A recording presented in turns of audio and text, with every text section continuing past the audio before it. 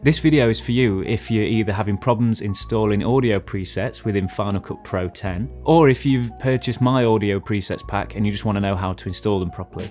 Now it's really easy to do, but you have to make sure that you follow these instructions precisely and accurately to make sure that it works properly, otherwise it won't work. And this is the same for any presets that you buy or download. So if you've noticed that the presets are showing within the presets window, but when you drag the effect onto your clip, nothing happens. And if you go into the audio effects thing, nothing shows up. This is probably because you've dragged the whole folder into the effects presets folder. And Final Cut Pro can't read folders, it can only read individual files. So you've got to delete them all within that effects folder and then copy all the files from within the folder and then drag them back into the effects folder. I'm going to show you how, so don't worry. So first of all, to find the Final Cut Pro effects folder where you need to save these presets, right click on one of the audio presets that you've already imported if you have, and select reveal in Finder. Now that'll give you the folder that you need to import these presets into. Or go onto your Finder window, hold down Option key, and then select Go at the top of your screen. Select Library, Application Support,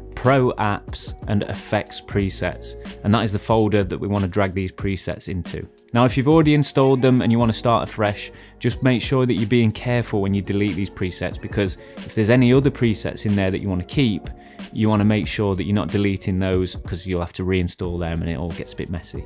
So make sure that you take your time doing this bit and don't get rid of anything that you want to keep in there. Once you've deleted those, open my presets pack folder. Make sure you double click on the folder and open it. Select all of the presets from within there and then copy and paste them in to the effects presets folder. Then restart Final Cut Pro and reopen again and you should see that all the presets are within that window now and when you drag them on they should work and you'll see the effects that have been applied and then they'll work. Simple as that. I hope that helps. Please let me know in the comments if you're still having trouble but if you have ordered my presets it comes with a readme file that shows you exactly what to do. Just follow that to the T and and you should be fine. Massive thanks to those of you that have downloaded my presets. Hopefully they're helping you get better audio faster. They help me so much, so I just wanted to pass that on to you. And just a quick note as well, my presets don't work with the older versions of Final Final